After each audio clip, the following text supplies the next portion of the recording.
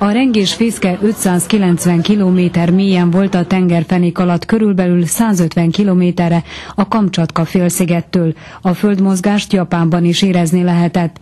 A Szahalin szigetek fontos orosz gáztároló hely, Kamcsatkán pedig Moszkva atomtenger alatt járókat állomásoztat.